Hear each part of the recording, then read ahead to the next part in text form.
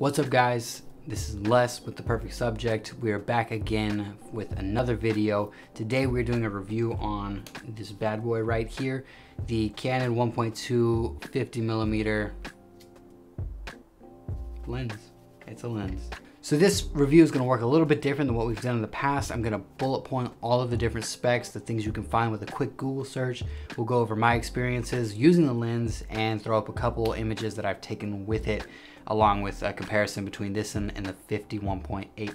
So with that, let's just jump right into it. As I said before, here's a bullet list with all the specs that you need to know. Feel free to pause the screen if you need to take a closer look at any of these things.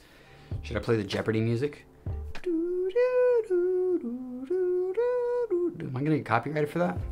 I got like 12 subscribers, that ain't happening. You may think to yourself, like I often do, can I justify this purchase? Does this make sense for my kit? Does it make sense financially? This is over a thousand dollars, almost two grand brand new. Is it really worth it?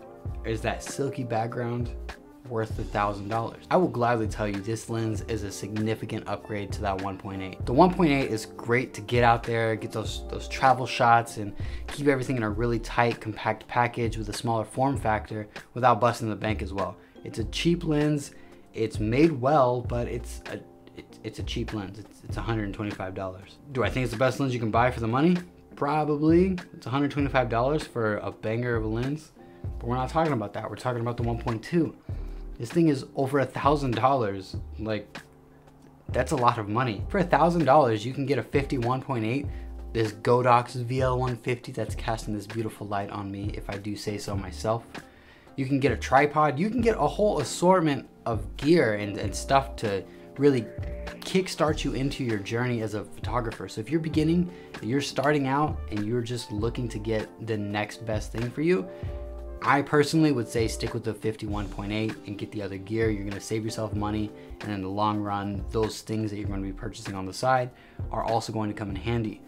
Now, if you already have this lighting setup, if you already have a tripod, if you have a camera, if you have a bunch of lenses already, and you're just looking to upgrade that arsenal of lenses, 51.2, amazing lens, hands down. I, if, if you are in a position to get one, get it. For starters, the focus ring on here is much smoother, it's wider, gives you a better grip all around. There's an internal focus breathing here, so the front element doesn't protrude out like it does in the 1.8. The increased size of the lens just makes it feel more comfortable, it, it just feels better in your hands, whereas the 1.2 kind of is just, it's a little too small at times. But when you're working with a client or trying to get a, a better shot out of it, that 1.8, the, the focus ring is pretty tiny and that it can be a downside at times. But the 1.2 has fixed that problem. Neither of the lenses have image stabilization, which I would have liked to see in a 1.2 that's gonna cost me as much as it does.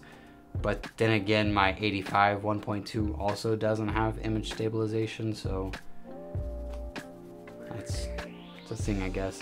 This lens is weather sealed. It does have that little bit of weather sealing around it, so you can be a little bit more adventurous with this lens. Outside of that, there are not too many differences between the 1.2 and the 1.8. They're both 50 millimeters. They both take excellent photos. The 1.2 is a little bit better. Although, one thing to point out, the chromatic aberration is far less apparent in the 1.2 than it is in the 1.8. 1.8 has that separation and it just, it doesn't, it doesn't look good all the time. There's been times where I take photos when I'm out traveling around with the 1.8 and I get back to the house and there's just a pretty decent amount of chromatic aberration. When I take the 1.2 out though, I don't run into those issues as often. I think it's a really well made lens and if you can afford it, I would suggest getting it. But you know, at the end of the day, it's gonna be up to you. This is your decision, this is your camera, this is your body, this is your life, live your life. I'm not gonna tell you what to do. And with that, I'm gonna throw some images up on the screen so you can take a look at the image quality. Tell me your feedback, give me your thoughts.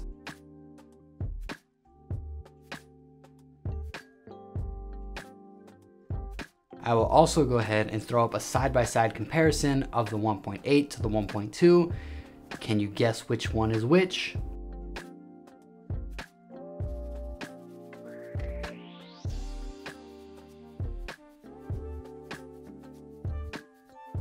Did, how, how'd you do on that? Did you get them right? Did you get any wrong? That's a better question. Tell me if you did. Be honest. Don't, don't, don't lie. We don't have time for liars, man. Don't do it. Anyways, that's it for this review. I hope you enjoyed this video. If you liked it, give it a thumbs up. If you don't, you know, just hit the X. Just hit the little red X. Feel free to subscribe if you haven't already. I would appreciate it. I'm trying to, you know, continue taking this and see where I can go with it. But outside of that, that's it for today. I hope you have a wonderful rest of your week, and I will see you next time. Peace.